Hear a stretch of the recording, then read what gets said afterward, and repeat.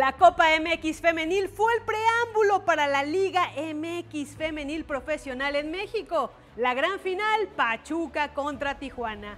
Así arrancaron las emociones del balompié femenil. Soy Liliana Sánchez y te invito a conocer la historia.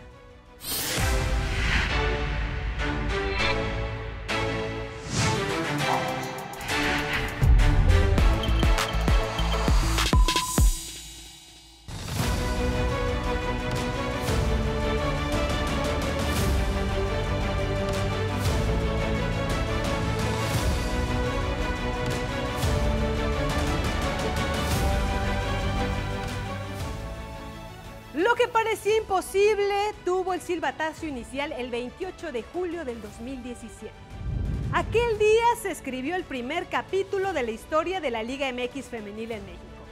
El balón rodó sobre la cancha del Estadio Hidalgo, que vistió sus mejores galas con el duelo Pachuca contra Pumas, que arrancó las emociones del balompié femenil. Berenice Muñoz marcó la primera anotación en el torneo. La delantera de las Tuzas fue la encargada de ponerle la cereza al pastel y convertir el sueño en realidad. Con guerreras que iniciaron con un formato de competencia que colocó a los 16 equipos participantes por ubicación geográfica, con 14 fechas y el permiso para Puebla y Lobos Guap de incorporarse después. Donde no se manejó el término de sueldos, se calificó como un estímulo económico que no fue suficiente para vivir del fútbol pero no para abandonar el objetivo. Las hidalguenses dieron muestra de talento de la mano de Eva Espejo, quien las instaló en la gran final ante Guadalajara, que venía acompañada de goles de Norma Palafox y su peculiar baile, sin dejar de lado el talento de Blanca Félix en la portería. Ingredientes que dieron el primer título al cuadro rojiblanco en el Apertura 2017. Lucero Cuevas, jugadora de América, fue la primera campeona de gol individual con 15 anotaciones en su cuenta personal. Para darle paso a los equipos del norte que se convirtieron en amos y señores de la liga por la calidad de sus planteles y su nivel futbolístico. Tigres, al mando de Osvaldo Batocletti, y Monterrey de Tito Becerra, colocaron a sus escuadras en la primera final regia, en el torneo Clausura 2018, en un duelo de poder a poder que terminó en tanda de tiros penales para definir al nuevo monarca, con un récord de asistencia en el gigante de acero con 51.211 aficionados para un partido de fútbol femenil a nivel de clubes. Noralía Armenta se convirtió en la heroína y villana al marcar el gol que mandó a los tiros penales, pero desde los 11 pasos falló y se perdió el título para que las Amazonas se coronaran campeonas del torneo al mando del histórico Osvaldo Batocletti, quien falleció semanas después a los 69 años de edad en Monterrey. Lucero Cuevas, artillera de las Águilas, se coronó como la primera bicampeona de golo individual con 15 dianas. En la apertura 2018 estuvo lleno de emociones. Para el América, al mando del estratega Leonardo Cuellar, que rompió los pronósticos al instalarse en la final ante Tigres, que llegó como amplio favorito bajo las órdenes de Ramón Villaceballos. El equipo azul crema contó con el talento de Diana González, quien se distinguió con grandes anotaciones para alcanzar la gloria en el estadio universitario.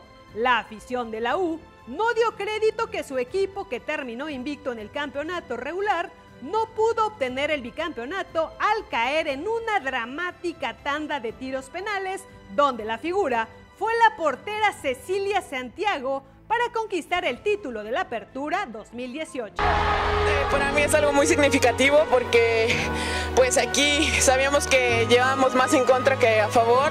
Estábamos 0-0, este, nosotras salimos con esa mentalidad a pesar de que empatamos allá.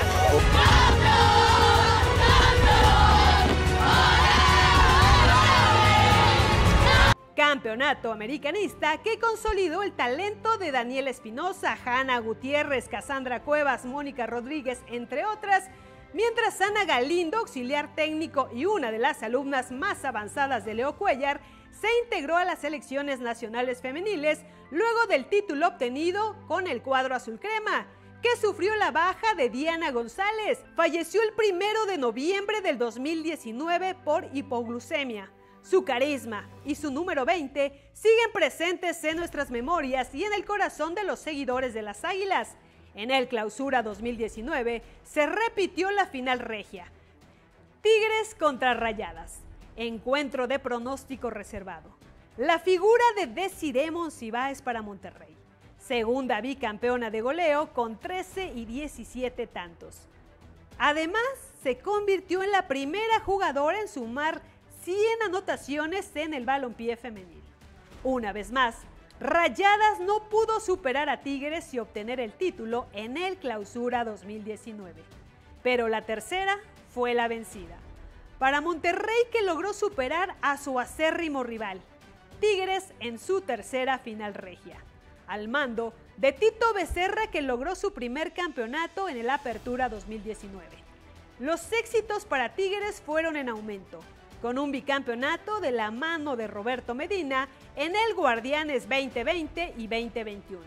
Mientras que Monterrey sumó un título más en sus vitrinas en el Apertura 2021 al mando de Eva Espejo, que se convirtió en la primera mujer en conquistar un campeonato en la Liga Rosa.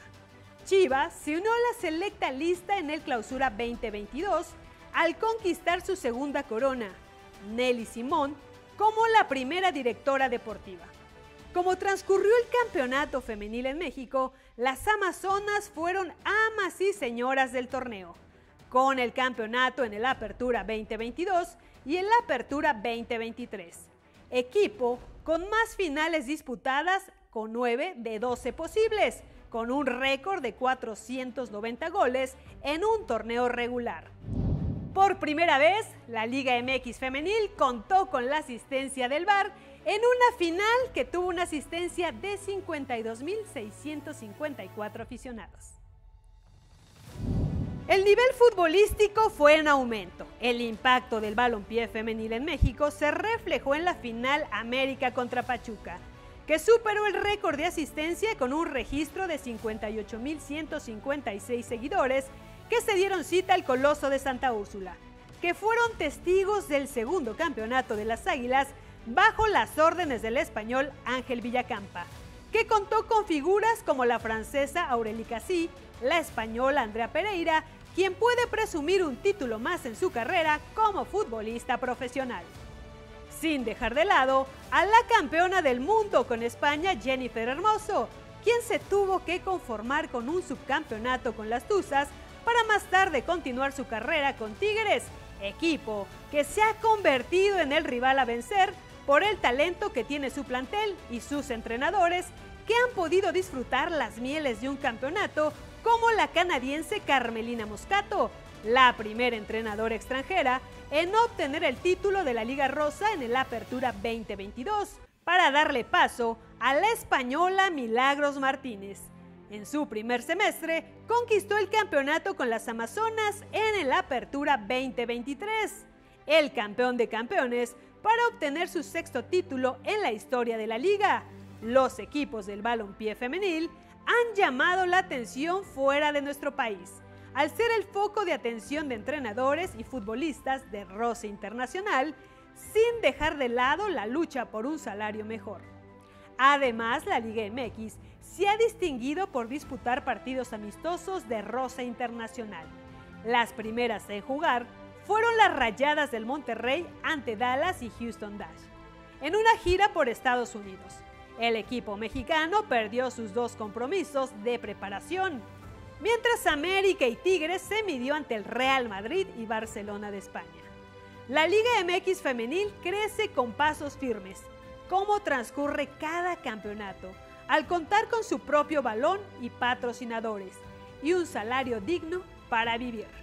Atlético de San Luis invierte en femenil 38 millones aproximadamente. En tema de presupuesto, exclusivamente en nóminas hemos incrementado el 350% cuando antes el promedio de nuestra jugadora era 8 mil pesos, ahorita son 31, 32 mil pesos como promedio, como este, sueldos mensuales que tienen nuestras jugadoras que tiene como objetivo convertirse en un semillero de los diferentes representativos nacionales con el respaldo de Mariana Gutiérrez, quien trabaja en el crecimiento del balompié femenil, fue nombrada presidenta de la Liga MX Femenil en México, anteriormente directora, en la primera asamblea de socios del fútbol femenil de la Federación Mexicana de Fútbol.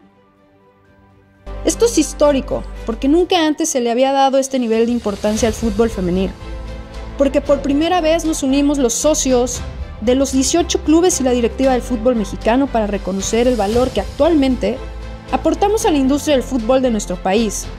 Con la idea de fortalecer las selecciones nacionales femeniles, trabajo de la Liga MX que es un reflejo de la pasada Copa Oro W 2024 al vencer a la selección de Estados Unidos después de 14 años con la base de jugadoras que militan en México, éxito que se ha alcanzado a lo largo de su existencia que incluye la convocatoria de 5 millones de personas a los estadios, la celebración de 6.360 goles y la convocatoria de 279 futbolistas a selecciones nacionales que han creído en la Liga MX femenil que pueden presumir un porcentaje de más de 75 en estudios universitarios de las afiliadas, la creación de empleos para directoras técnicas, médicos, árbitras, periodistas, fotógrafas y un viaje lleno de retos y desafíos, donde hay mucho por mejorar con jugadoras que buscan recibir el mismo trato de parte de su club en una joven liga que camina con pasos firmes en busca de ser autosustentable para el 2027.